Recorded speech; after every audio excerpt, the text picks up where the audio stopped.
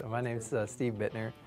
Uh, I'm going to school at the University of Texas at Dallas. And I just finished up my internship, or am, I've got like a couple days left of my internship for my first summer here at SMART. I was sponsored by um, the Army's Training and Doctrine Analysis Center up in Fort Leavenworth. My mentor, uh, he set meetings up with people all over the organization. Like, okay, this guy will know how to help you out, or you know, or if not, then we'll go talk to this guy, and if not, we'll talk to her, and if not, we'll talk. So, I interviewed or went around and just kind of talked about my research and uh, my, my research at school with uh, different people in the organization, tried to explain kind of what my area is, and uh, actually had finally my last meeting with someone about two weeks ago, and like seems like a perfect fit actually.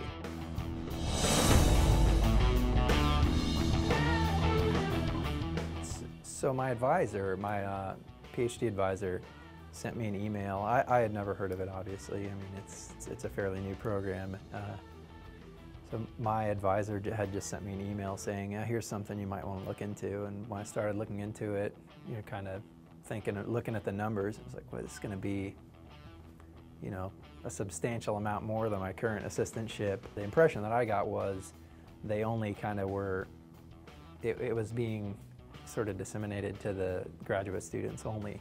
And then when I came here for the orientation last year, I realized most of the program is undergraduates, or certainly a, a very large portion is undergrad.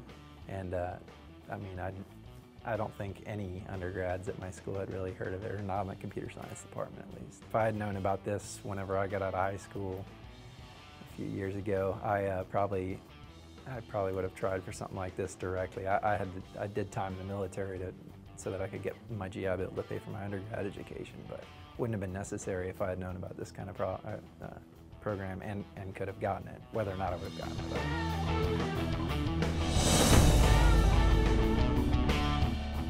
If you look at right now's economy, it's just like, and it, you know, I, I just have so many friends who are getting laid off from their jobs in industry, and I don't know anybody in the DoD that's getting laid off. I mean, it might, it's probably happening to some extent too, but but definitely nothing like what you hear about in private industry right now. So it's just not so vulnerable.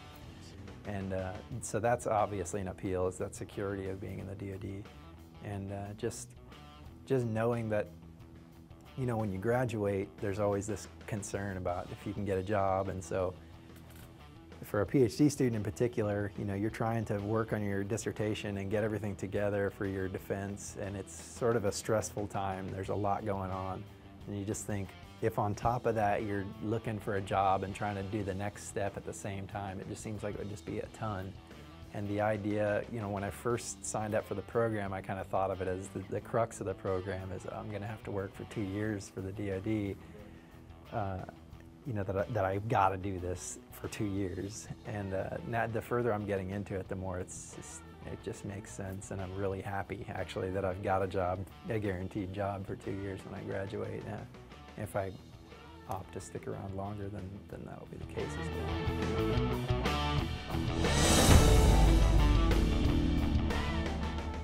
During my internship this, this uh, summer, basically all the new employees that go work there. The, the director that's, that oversees all four of the areas, so the White Sands, Monterey, Fort Lee, and then Fort Leavenworth, he, he sees all the new employees and just sits down. So I went into his office, you know, it's like this half hour meeting where we were just gonna sit and talk face to face and I was in there for almost two hours. We were just, I mean, just really friendly guy, real good guy.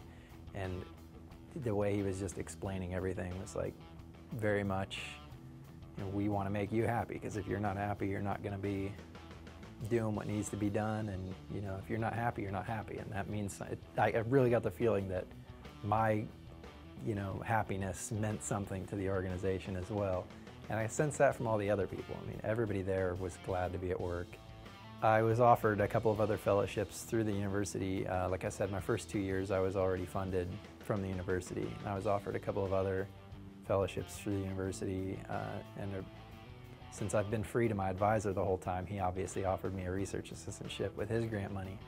So as far as the funding and being able to continue my education goes, uh, it wouldn't have been a problem. But those um, stipends, of course, are much smaller um, than, than the one through the SMART program. So the higher stipends just allowed me to maybe make some decisions that I haven't been able to make, like in my personal life, uh, getting engaged to my fiance and, and ultimately getting married and actually being able to afford having a wedding and these things that, you know, if you're scraping out extra 50 bucks a month, you can't exactly afford something like that. But being a part of the program where I can actually save like a normal person, you know, it's makes a difference. If you're a grad student, you know, you're still living that dirt poor student life.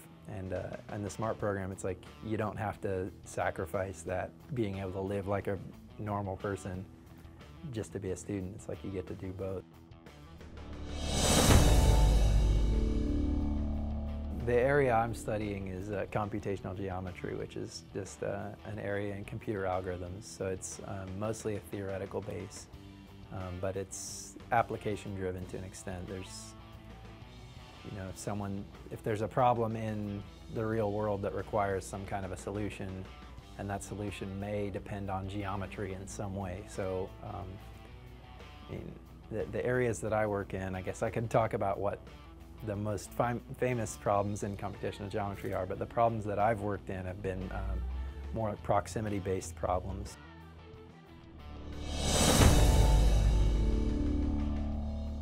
Just like applying to a job, I mean, you just have to make sure that for some reason when they look at your application, they're going to say, wow, you know, some, something about this guy is different from the stack of, I don't know how many people applied this year, but I know last year they were saying it was quite a, like several thousand people applied to the thing and, and they only awarded 160 of the scholarships. So how do you make yourself not part of the thousand, thousands of people that get rejected? How do you get in that 160? And I think it's just standing out. I mean, just like applying to a grad school or applying to any other job, you really just have to be different in some positive way.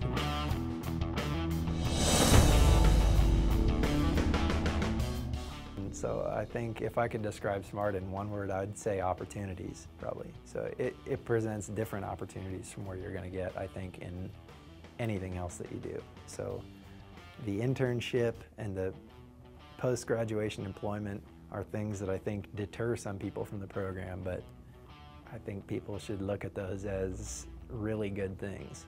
I mean, even if it's just a stepping stone for you and you're saying, oh yeah, I'm gonna go to school for, you know, you're an undergrad or say four years under the SMART program and you want to go work for four years, that's four years of really valuable uh, experience working for an organization that's pretty well known and pretty well, you know, put together. So I think it looks good. And for, from my standpoint, when I initially started going to school, like I've mentioned, was to try and become a, a college professor.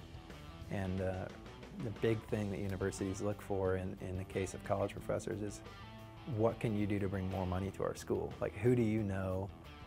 How, what kind of ties do you have in different organizations that will make it so you can bring in research funds to our university?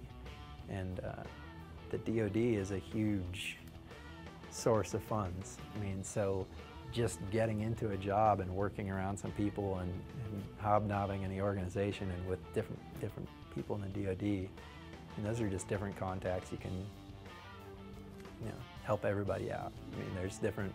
You can help out their organization by solving one of their geometric quandaries, and you can help yourself out by getting some of their money to do so, or you know, or whatever it happens to be. But I, I think there's just a lot of opportunities for this program that you just don't really get anyplace else.